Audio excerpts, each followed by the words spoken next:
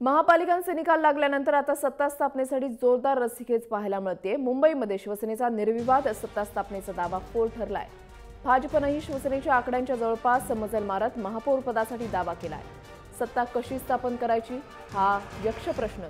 दोन्ही पक्षांपुढे असतानाच शिवसेनेकडून आता अपक्षांना गळाला लावलं जात आहे शिवसेनेचं मुंबईतलं संख्याबळ चौऱ्याऐंशी आहे मात्र निवडून आलेले बंडखोर आणि अपक्ष गळाला लागल्यानं शिवसेनेचं संख्याबळ सत्त्याऐंशीवर पोहोचलेलं आहे. शिवसेनेच्या बंडखोर स्नेहल मोरे आणि तुळशीराम शिंदे यांनी मातोश्रीवर जाऊन शिवसेनेत प्रवेश केलाय. दरम्यान या सर्व घडामोडी पाहता स्नेहल मोरे आणि तुळशीराम शिंदेसारख्या बंडखोरांना गळाला लावण्यात यशस्वी होणारा पक्ष सत्ता स्थापनेमध्ये प्रबळ दावेदार असेल असं राजकीय अभ्यासकांचं मत आहे. दरम्यान सुधीर मोरे आणि स्नेहल मोरे यांच्याशी बातचीत केलेली आपले प्रतिनिधी हेमंत ब्रिजे यांनी. बंडखोरांची घरवापसी सुरू झालेली आहे. आपण पाहू शकता स्नेहल मोरे आणि त्याचबरोबर माजी विभाग प्रमुख सुधीर मोरे हे पुन्हा एकदा शिवसेनेत आले आहेत. स्नेहल मोरे विक्रोळी पार्कसाईट या विभागांना जिंकून आल्या.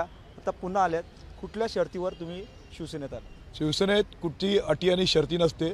साहेबांचा आदेश असतो आणि त्याच्यामुळे साहेबांना आम्ही विनंती केली आणि साहेबांनी मला मोठ्या मनाने आमची विनंती मान्य केली आणि आम्हाला आपल्या परत घरात घेतलं. त्याबद्दल साहेबांचं अभिनंदन. उमेदवारी दिल्यामुळे नाराज झाले होते तुम्ही. बंडखोरी केली होती. पण आता जिंकला. हो. नाराज वगैरे काही नाही फक्त आम्हाला म्हणजे जिंकून दाखव हां. साहेबांनी शिकवलं अन्याय झालं ते तिथे बंडखोरी करायची. त्यामुळे साहेबांचा शब्द पाळलेला आहे. बंडखोरी केलं परत आपल्या घरी आलेलो आहे. मग आता काय नेमकं काय आश्वासन?